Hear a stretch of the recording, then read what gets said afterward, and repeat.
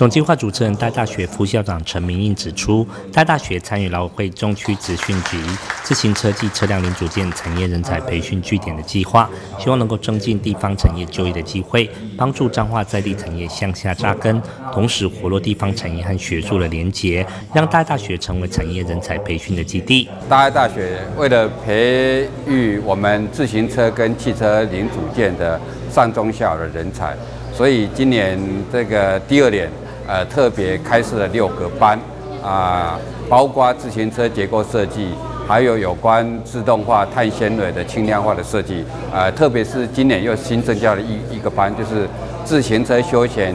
业的这个休憩的领队的证照的一个班。以我自己公司来讲的话，比较需求多的是在工程师方面，因为每天有很多的开发案，那需要大量的工程师人才协助开发，哦。那这个是我们比较需求的。以至于说，一般的我们的生产线上员工，大概在我们公司来讲还比较好一点。目前自行车产业在台湾非常的夯，出口产值达到十八亿美金，每辆自行车单价从去年三百八十一块美金成长到四百一十六块美金。从设计到生产线，自行车产业可以说是虚财恐急。失业的民众以及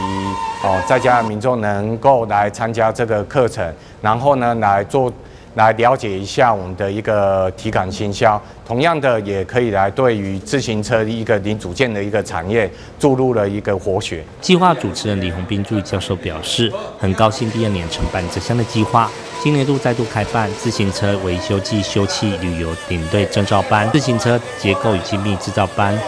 碳纤维结构设计制造与检测等六个班。全年度计划预定参训一百八十人次，上课时数三百六十小时。捷讯选透过征才博览会、网络人力银行、中当口就业服务中心，就业率高达百分之七十七。也欢迎有兴趣的民众踊跃报名参加。代言人新闻刘新孝、唐国昌采访报道。